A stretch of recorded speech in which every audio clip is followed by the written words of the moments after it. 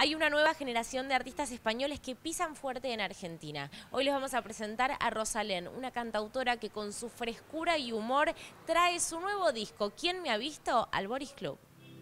Como el agua que se evaporó, la moneda que lancé al aire.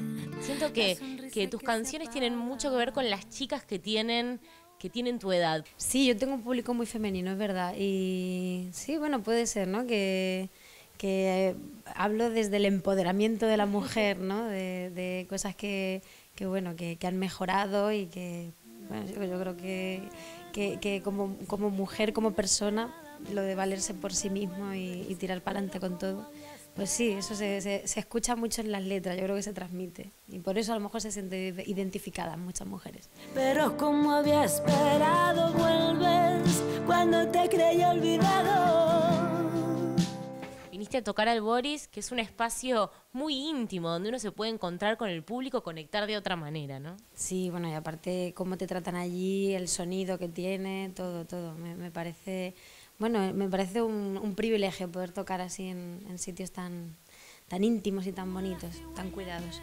¿Qué me puedes contar del show?